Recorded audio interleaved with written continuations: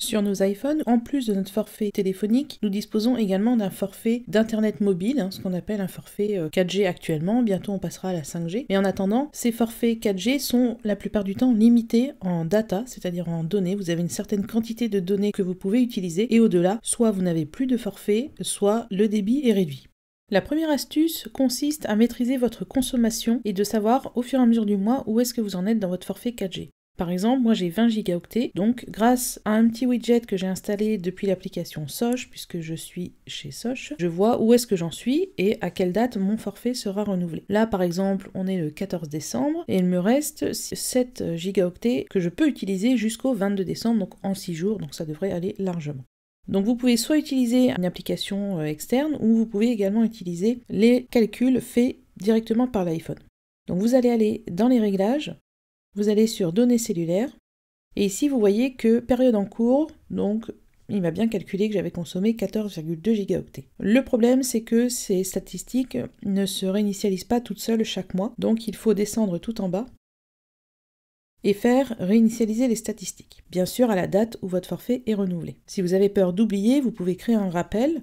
C'est très simple à faire, donc on va dans l'application rappel, on appuie sur le plus ici, et euh, je vais par exemple l'appeler tout simplement 4G. Je vais appuyer sur le i ici et je vais faire me notifier un certain jour. Donc je vais choisir la date de renouvellement de mon forfait, donc le 22. Je vais choisir l'heure, donc plutôt une heure où je suis disponible, voilà, 19h. Et au niveau de la récurrence, donc je vais choisir une récurrence mensuelle pour que chaque mois, le 22, il me rappelle de réinitialiser les statistiques de mon forfait 4G. Je mets une priorité normale, voilà, et je fais OK. Mon rappel est enregistré, donc je sais que tous les 22 du mois, ça sonnera pour me rappeler d'effectuer ce petit réglage. Si vous êtes en hors forfait, je vous conseille de retourner dans les réglages, d'aller donc sur données cellulaires et de désactiver carrément les données cellulaires. Vous le réactiverez bien sûr quand votre forfait sera renouvelé. La seconde astuce consiste à désactiver l'assistance Wi-Fi. C'est une assistance qui permet à votre connexion 4G ou 3G de prendre le relais si jamais vous captez mal le Wi-Fi. C'est un peu risqué puisque si jamais vous n'avez pas remarqué que votre connexion Wi-Fi est un peu faible et que ça bascule sur votre forfait 4G sans vous en rendre compte et si vous êtes par exemple en train de regarder un film, ça peut très vite grignoter des gigaoctets sur votre forfait. Donc pour le désactiver, vous allez dans les réglages, données cellulaires, vous descendez et vous désactivez ici assistance Wi-Fi.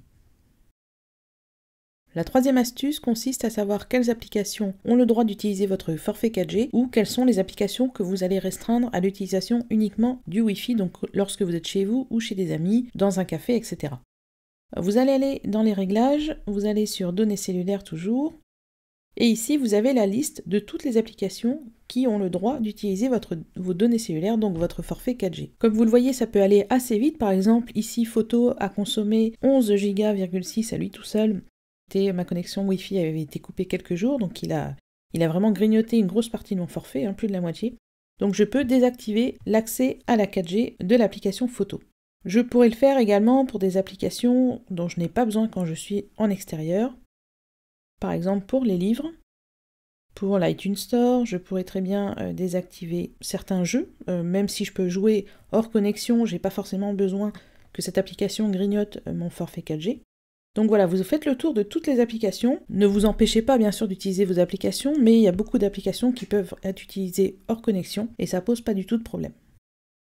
On vient de voir quelles applications pouvaient fonctionner en 4G et euh, lesquelles on voulait restreindre au Wi-Fi. Il y a un autre paramètre qui est l'actualisation en arrière-plan et qui est euh, un peu traître, hein, puisque c'est quand votre iPhone et donc les applications que vous avez installées travaillent en arrière-plan, donc quand vous n'utilisez pas, pour mettre à jour par exemple votre flux Facebook, Twitter, etc. On peut euh, du coup consommer pas mal de, gigaoctets comme ça au fur et à mesure du mois à cause de l'actualisation en arrière-plan et en plus ça consomme de la batterie, donc il faut vraiment euh, veiller à ces réglages. Donc on va aller dans les réglages, on va aller sur Général, actualisation en arrière-plan ici. Et comme vous le voyez, moi j'ai restreint cette actualisation en arrière-plan à très peu d'applications. J'ai accepté pour les notes, hein, puisque j'ai pas mal de notes partagées, donc j'aime bien être au courant quand des modifications ont été faites. PayPal, les podcasts et Twitter. C'est uniquement ces quatre applications-là que j'autorise à s'actualiser en arrière-plan et donc à consommer un petit peu de mon forfait.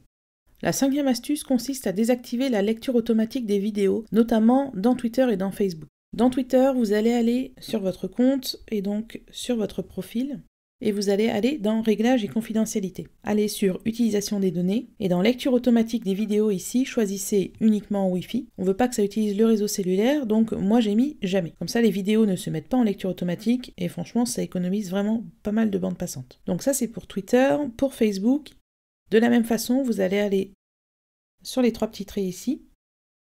Vous allez descendre tout en bas sur Paramètres et vie privée. Vous allez sur Paramètres, vous descendez sur Vidéo et Photos, et vous allez désactiver la lecture automatique. Donc vous allez choisir ne jamais lire les vidéos automatiquement. La sixième astuce consiste à désactiver les téléchargements automatiques de l'iTunes Store et de l'App Store en données cellulaires. Donc on va aller dans les réglages, vous allez descendre sur iTunes Store et App Store ici, et vous allez désactiver données cellulaires. Ainsi, le téléchargement automatique des applications, de la musique, des livres, voire des mises à jour ne se fera qu'en Wi-Fi. La sixième astuce consiste à utiliser le plus possible le Wi-Fi. Cela vous évitera bien évidemment, puisque quand vous êtes en Wi-Fi, vous n'utilisez pas votre forfait 4G, mais ça vous permettra aussi d'économiser de la batterie et donc d'avoir une autonomie supérieure. Lorsque vous arrivez dans un endroit public ou chez des amis, pensez à aller dans les réglages, à aller sur Wi-Fi et vérifier si un réseau est disponible, qu'il soit ouvert ou non, et s'il est protégé par un mot de passe, demandez le mot de passe à vos amis. La 4G c'est très confortable et on oublie vite qu'il y a plein de réseaux Wi-Fi partout et donc il faut en profiter pour économiser de la 4G. La huitième astuce consiste à désactiver les données cellulaires de votre iPhone lorsque vous faites par exemple un voyage, que vous êtes plusieurs heures en car, en train ou en voiture. Vous pouvez désactiver les données cellulaires pour éviter justement que votre iPhone ne cesse de chercher des réseaux et donc se décharge plus vite en allant tout simplement dans le centre de contrôle et en appuyant sur le petit bouton vert ici, vous désactivez les données cellulaires. Cela ne vous empêchera pas de passer des appels ou d'en recevoir. Vous pouvez soit passer par le centre de contrôle ou comme on l'a dit tout à l'heure, on peut aller dans les réglages données cellulaires et le désactiver ici tout en haut.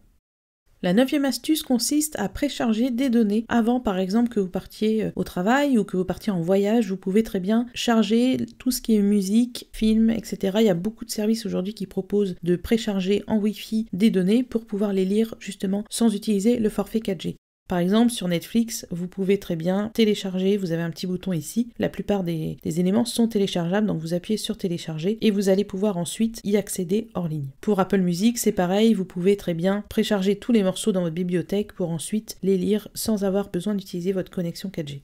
Et enfin, la dixième astuce consiste à désactiver la récupération automatique des emails en allant dans les réglages, vous allez sur mot de passe et compte, et ici dans nouvelles données, vous avez ce qu'on appelle la fonction push, qui permet justement à vos boîtes mail d'être relevées automatiquement. Donc comme vous le voyez, toutes les heures, toutes les 30 minutes, toutes les 15 minutes, on peut choisir manuellement, et après on peut choisir quelle boîte doit être relevée en push ou pas. Donc par exemple, euh, moi, celle d'iCloud ici, je vais la repasser en manuel, comme ça, mes mails seront relevés que quand j'ouvrirai l'application mail et je gagnerai ainsi en 4G et en autonomie.